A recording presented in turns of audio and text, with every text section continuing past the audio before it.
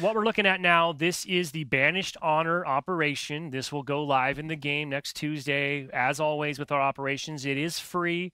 Um, we do have this the standard premium upsell option available as a convenience for players who are interested.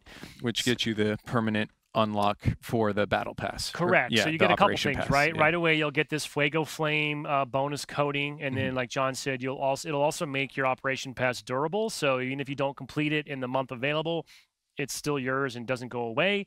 Um, and you'll also get that extra challenge slot activated while Mm, your mhm. premium operation pass. But by the way, it's all optional. You don't have to do that if you don't want to. So let's jump in here. I'm going to do our normal. We'll just show you what the 20 tracks are, but Nice. I really want to emphasize um, a lot of the things that uh, a lot of people in the community maybe would have once referred to as fluff. yeah, filler. Just call Yep. it what it is. Yeah. Um, has now been replaced with Spartan points. So we, we really are trying to shift the model here. The team wants to give players a lot more uh, agency and control to just have more just more flexibility to go after what, what matters to you. Um, so you're going to see as we go through here, there's a lot of points, um, a lot of tiers in this in this pass are dedicated to Spartan points. Mhm.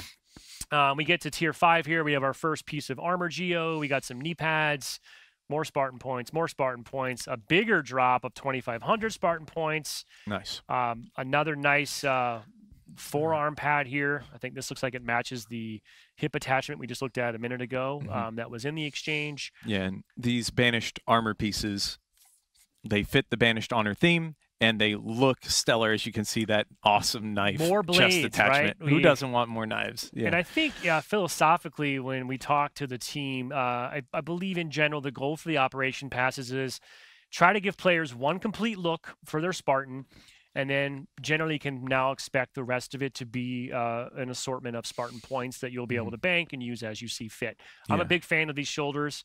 Not so much in this cadet blue, but they look really awesome in some of the other coatings. Um, I think I think you're rocking them on your Spartan, which we'll look at here in a second. Yeah, and it's it's nice with cross core shoulders. Uh, a lot of this stuff was initially made for Mark Seven, right? But now with cross core shoulders, helmets, all that stuff, you don't have to worry. You can place it on any core, and you'll be able to look banished and awesome.